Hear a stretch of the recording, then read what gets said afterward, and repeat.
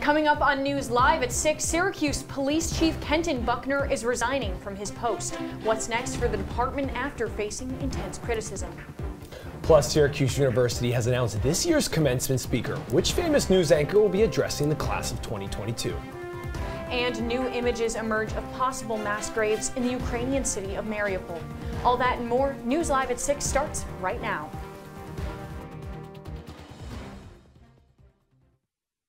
Now, Citrus TV News Live at 6 starts with breaking news. Police are investigating an active shooter situation in Washington, D.C. At least three people have been shot near the campus of the University of the District of Columbia. Welcome into News Live at 6. I'm Teagan Brown. And I'm Ryan Baker. The condition of the victims is unknown at this point. Police are still looking for an armed suspect. The university is sheltering in place. Citrus TV will have more details on the shooting when they are confirmed. And Kenton Buckner is the is no longer Syracuse's chief of police. Buckner was being considered for the position of police chief in Olympia, Washington. He has since withdrawn. In a statement, Buckner said, quote, I am deeply grateful to Mayor Walsh, Deputy Mayor Owens, and the City of Syracuse for giving me the opportunity to serve here. I came in with a high regard for the strength of the Syracuse Police Department and leave with an even greater optimism for its future. Mayor Ben Walsh announced in a press conference earlier today that First Deputy Chief Joseph Cecile will take over as police chief. Cecile has been a member of the Syracuse PD for 37 years. Citrus TV reporter Dillon Brendle was at that press conference and joins us now in studio with more. Dillon, what can you tell us? That's right, guys. Earlier this afternoon, when former Chief Kenton Buckner resigned for personal reasons, Mayor Walsh was quick to act to appoint a new chief. Today in the press conference, Walsh said that's because the searching process for a new chief began weeks ago when Buckner told them he would be exploring options in Olympia. Walsh spoke today about the nature of the departure. Chief Buckner leaves on the best of terms. He did exactly what I asked him to do three years ago when I swore him in in this very room. That the resignation has nothing to do with the viral video of SPD officers putting a crying eight-year-old in the back of a police car, as many had speculated. The plan to move forward with Cecile was being put in place before that video. Walsh said he has already said everything he will say about the video.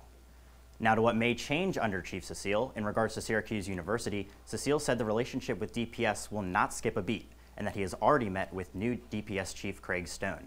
Cecile said talks are now ongoing about a way DPS and SPD's relationship around campus could change. These two, but we strategized about letting them start taking calls in that off-campus neighborhood when it involves their students. Because in many cases, they're, in most cases, they're not stretched like we are and can get there quicker. So if it's, say, it's a burglary that's already occurred, not in progress, um, we're looking at the possibility of having DPS go there so they can take the report and investigate it so that the student isn't waiting. That idea would still have to move through state legislature restrictions. Chief Cecile told us it could apply to non-active cases of larceny, burglaries, or traffic accidents.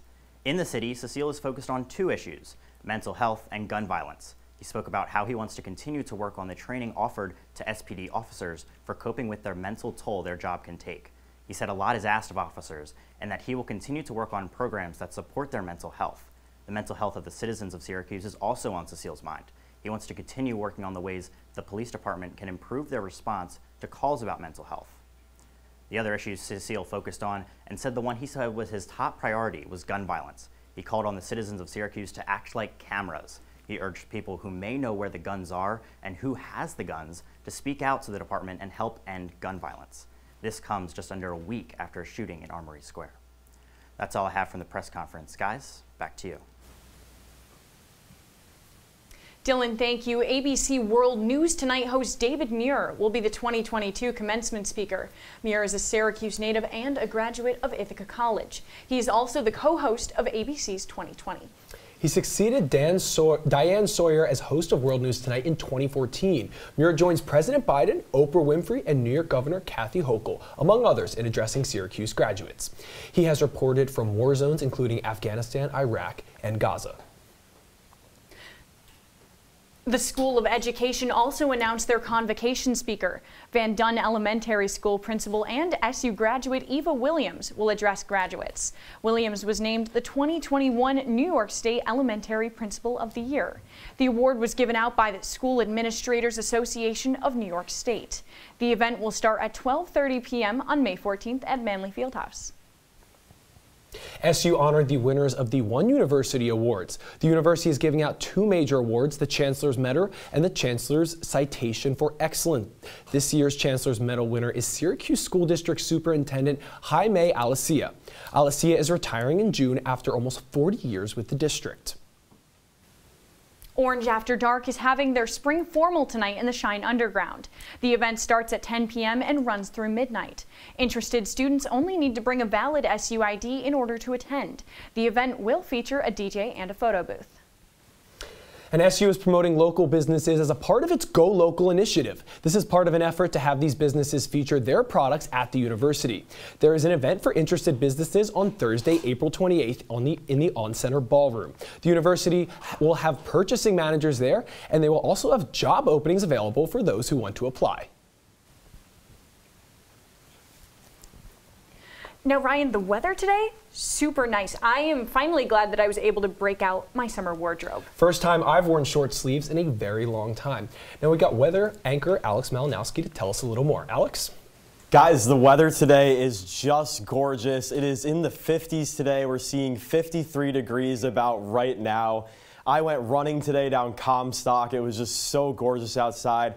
We got that light wind, only about 8 miles per hour, just beautiful. And taking a look at the current temperatures across central New York, we're seeing very similar temperatures to here in Syracuse. 52 degrees up in Fulton, 52 degrees down in Cortland, and 58 down in Elmira. That seems to be the high in the area. So we're almost reaching 60 degrees in parts of central New York. Again, like I said, just gorgeous weather, and I really want it to stay like this because I love these temperatures. And then taking a look tonight, it's going to be 34 degrees, so we will get a little bit colder out there, but not too cold. Pretty comfortable sleeping weather, pretty normal for this time of year.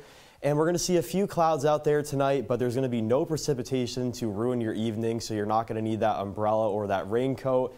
And then 10 to 15 mile per hour winds out there. But that's all I got right now. Guys, back to you. Alex, thank you so much. Today, the Syracuse Parks and Recreation Department unveiled plans to improve four parks in Eastwood neighborhood. Mayor Ben Walsh attended a bus tour and called the improvements important for the community and families who utilize the parks. The makeovers will improve underutilized parks that have fallen into despair. Huntington Park is set to receive a new basketball court that will have three hoops. The playground at Norwood Park will also be replaced with new slides and swings. Both projects are expected to be completed by the end of this year. The unused baseball field at Cummings Field will also be replaced by a splash pad. That is set to be completed by next year. Finally, Eastwood Skate Park will be getting a facelift. A $200,000 grant facilitated by State Senator Rachel May will expand the park for roller skaters, BMX bikers, and skateboarders. And a new furniture store is opening at the Great Northern Mall. Today, Dunk & Brights opened the former in the former's Macy's spot. The mall has lost many of its tenants in the last few years. Its owners are troubled with or its owners are in trouble over count, with the county over unpaid taxes. Great Northern has also dealt with a power outage a few weeks ago. This is Dunk & Bright's second location. The company has, has a store on South Salina Street in Syracuse as well. New York Governor Kathy Hochul was joined yesterday at an event by former President Bill Clinton and New York City Mayor Eric Adams. The event took place in the Empire State Building. The three are promoting greener high-rise office buildings in the city. The state is releasing the Empire Building Challenge. The goal is to build high-rise buildings using renewable energy. And a new lawsuit says the Democratic candidate Josh Riley's campaign committed fraud. The claim is that they falsified their nominating positions to the state in order to get on the ballot. This lawsuit was filed by Diane Dwyer. She is the executive committee. She is on the executive committee of the Onondaga County Democratic Party. The lawsuit says that two of Riley's staffers did not personally witness signed petitions. This is a requirement for each campaign. Dwyer is supporting another candidate's run for Congress in the 22nd district. The CDC is recommending that masks be worn indoors in 23 counties in upstate New York. All of these counties are seeing a large rise in COVID cases due to the new variant. Upstate New York is the hotspot right now of this new variant. Over half of the counties listed as high risk by the CDC are in New York State. Despite this, masks are currently not required indoors in the city of Syracuse or around Onondaga County in most places. Masks are only still required in medical settings in the city. And coming up after the break, new reports emerge about potential mass graves in the city of Mariupol. We'll have the latest next. Plus, the French go to the polls this weekend. The latest on the election between Emmanuel Macron and Marine Le Pen.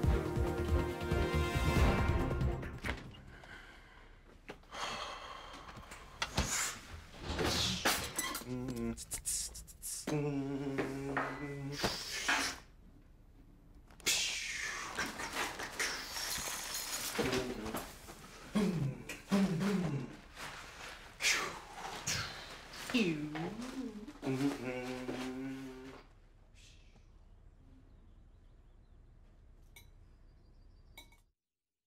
Stem is precise, no margin for error. Dare to forget that. Dare to have fun with it. Get weird with it. Dare to send those old STEM theories flying past the neighbor's house into outer space. Dare to program something internet breaking, record breaking. Dare to blow their minds. Dare to learn the difference between sedimentary and metamorphic rock. Go find those rocks. Dare to keep daring. Dare to STEM. Check out She Can STEM to get started.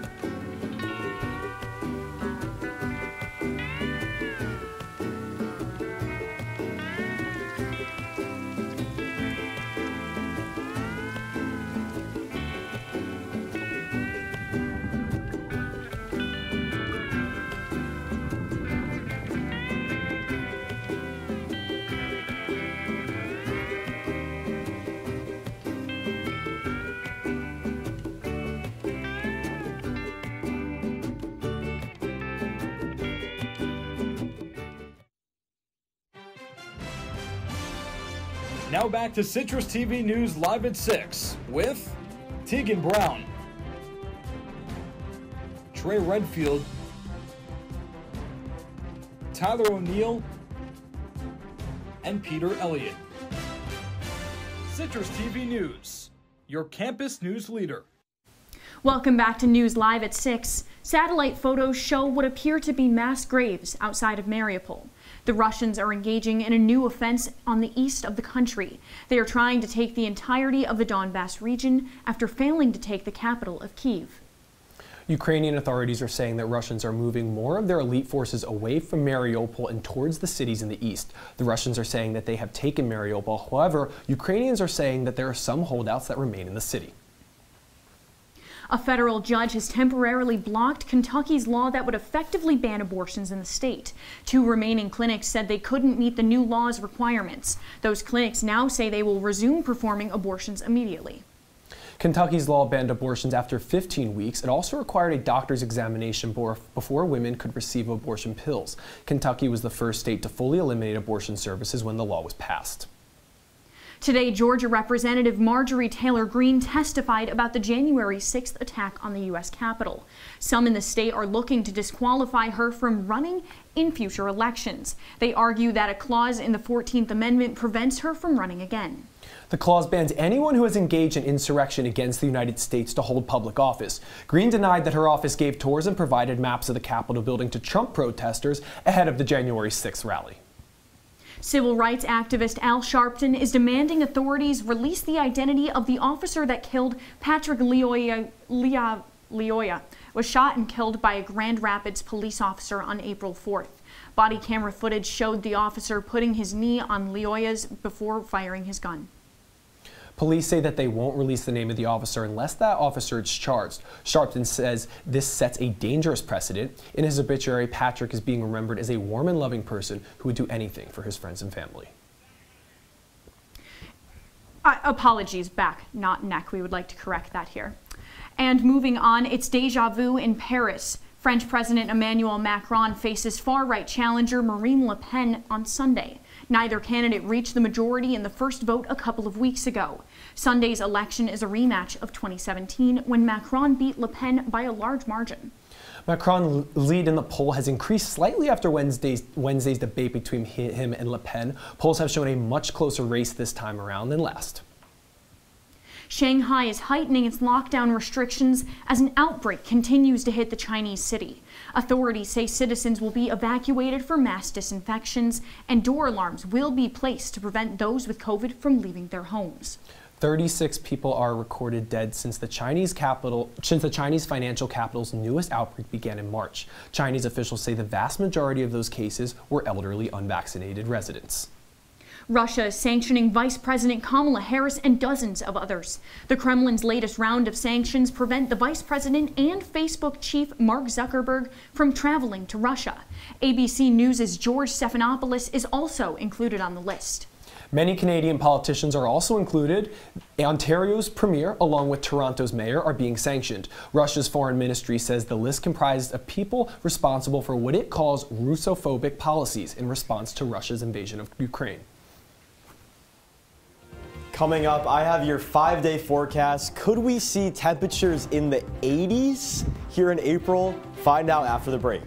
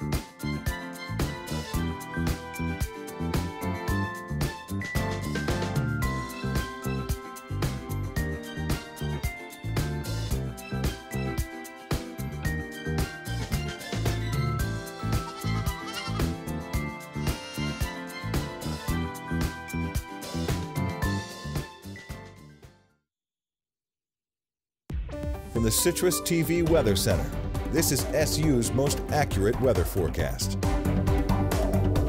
Welcome back to News Live at 6. Now, among us weather people here at Citrus TV, you do not see a lot of five day forecasts like this one. Tomorrow, we're going to see some PM showers. It's going to be 56 degrees. You're going to want to have that umbrella and that raincoat out there. Not the best of days tomorrow. But as we head into Sunday, I was telling you about that before the break. We're going to see 78 degrees as our high with some mixed clouds and sun. You're going to want to get outside. You're going to want to go on the quad. You're going to want to go tanning. Do whatever you can to enjoy that sun because I do not think that that is going to last any longer. And as we head into Monday, we're going to still see those high temperatures, 75, but we will see some PM showers out there. And then on Tuesday, we're going to see some clouds and some showers as well. 56 degrees, so it's going to drop about 20 degrees out there. And then on Wednesday, we can even see some snow. We're going to see the rain mixing in with that snow. Like I said, that sun, those warm temperatures are really not going to last, which is quite a shame. But a lot of great days to stay inside and maybe play some Fortnite or do some indoor activities. And then as we head into the forecast for tomorrow, like I said, we're going to see some rain. We're going to see some clouds and some showers, 5 to 10 mile per hour winds. At 9 a.m., it's going to be about 46 degrees, and we'll warm up about um, you know 6 degrees to 54 degrees at 3 p.m. and then 52 degrees at 6 p.m. And future temperatures going from 50 to 53, so not too much change there. But I'll have more for you guys later. Right now, we got Thomas. What's going on in sports? Yeah, thanks. Coming up in sport, it's a busy weekend on the Hill. The Syracuse women's lacrosse team and softball teams were both in action as we speak. Well, the latest after the break. Jordan knows he shouldn't eat this entire bowl of nachos, but tonight he's earned that right because a few hours ago in the middle of happy hour, he recognized a sign. Not from the gods or a bolt of lightning, but from a double heart, a kissy face, and a fourth ha in ha ha ha. That's when Jordan knew he was buzzed. So when it was time to go, he got a ride home instead of driving. Be a legend like Jordan. Recognize your buzzed warning signs and get a ride home. Buzz driving is drunk driving. Welcome to my house. Everybody's pretty tired of each other. The walls were closing in. Clearly, a case of too much family, too close, 24 7. If this sounds like your house, try going someplace new. YourLifeYourVoice.org. You'll find lots of ideas to help you handle the family stresses of being confined to close quarters.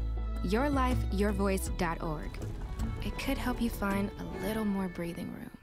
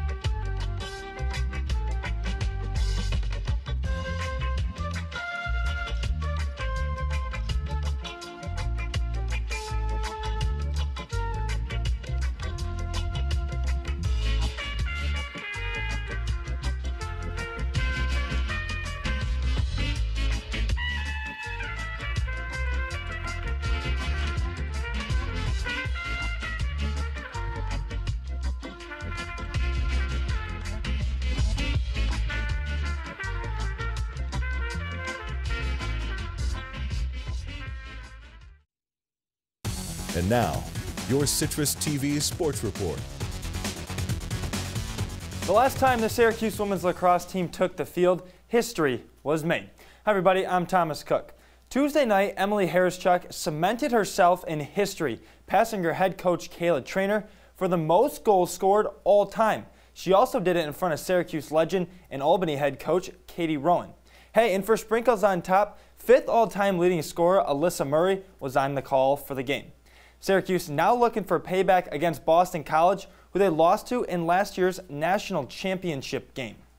The Orange and Eagles got things underway a few minutes ago. Score still tied 0-0 at the beginning of this one. The winner of tonight's game clinches the number two seed in the ACC tournament. The loser, the number three seed. The conference tournament will get going next Wednesday. The Syracuse men's lacrosse team is on a four-game losing streak. And to make things worse, the past two games, have both been decided by one goal. The Orange host number five Virginia tomorrow at 4. Gary Gait spoke about his squad's mentality after facing one of the best teams in the country. And so it's kind of just another game, uh, and it's about how we play. We're focused on our execution and our effort, and you know, and we're going to leave it on the field, and hopefully at the end we're we're on top. Coach, after getting swept by Louisville in a three-game series, the Syracuse softball team had their weekday doubleheader against Colgate canceled. Earlier this afternoon, the Orange were taking on number 11 Duke to start a three-game weekend set at home. The Orange dropped this afternoon's matinee. Ariana Adams got the start for Cuse. She went one and two-thirds innings, giving up three runs, only one of them earned. SU's offense couldn't get anything going either, as they were held to just four hits. Duke starting pitcher Peyton St. George went the distance, throwing seven scoreless innings. The Syracuse Mets started the season 1 and 10. Yeah, one win, 10 losses. This week, though, the fortunes have turned. The Mets started the weekend long series against Worcester with a doubleheader win. Then they followed that up with a win last night, 10 to 8. Tonight, Syracuse looking for win number four in a row. Conor Gray is on the bump for the Mets. The Red Sox counter with lefty Kyle Hart. First pitch in just a few minutes. The Syracuse Crunch are also in action tonight as they host Belleville at home. The Crunch are on a bit of a hot streak of late, winners of four of five. With just over a week left in the season, the Crunch and Senators are third and fourth in the North Division standings and separated by just one point.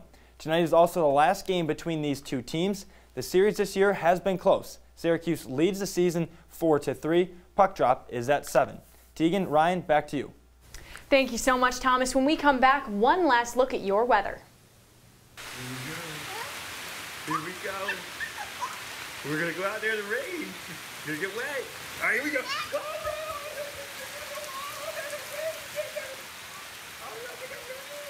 Okay, quick.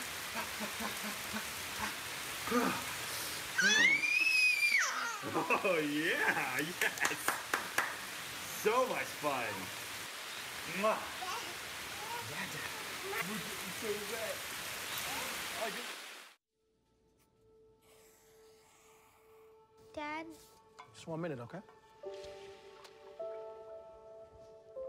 hey Bobo, do trees tell each other stories? I'm sorry. I'm afraid I don't know that. Hey, why don't we go find out?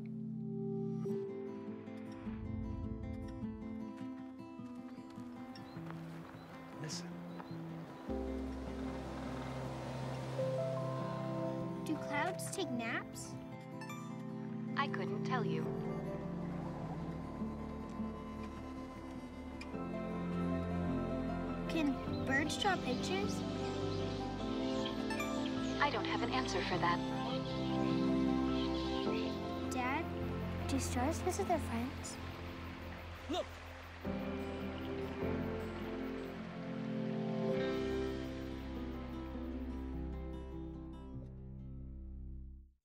Welcome back to News Live at 6. Taking a look at our wake up weather for tomorrow morning. It's not the best wake up weather, but it's not the worst wake up weather. It's going to be about 46 degrees, pretty comfortable, pretty seasonable, mostly cloudy with 3 mile per hour winds. It's going to be good at least because you do not have to have that raincoat, that umbrella out there. Pretty comfortable to walk somewhere or go get some brunch with your friends.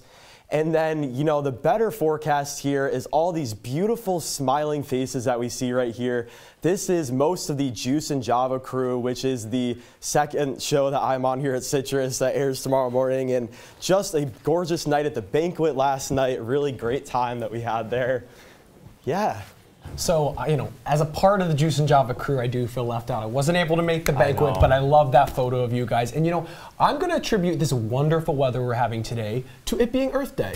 Absolutely. I think the Earth was kind of shining down upon us and telling us that. You know what I mean? Yeah, what is, I have to ask, you know, what are you doing to celebrate Earth Day? So I think this year in general, I've just been working to be like like more sustainable initiatives, like personally, whether that be you know not opting for plastic straws at a restaurant or reusing a metal water bottle every day. You know what I'm saying? Yeah, I mean, uh, Thomas, what do you think of this shot here? This is of campus. This is of you know the Earth. It's it's Beautiful. Earth Day. Doesn't get any better than that. Right there. That's awesome. Alex, what do you think? I think that that sky is just gorgeous. It looks like a mural. We can see those like little wispy clouds down there. That might be like a cumulus giving you some like weather lingo here.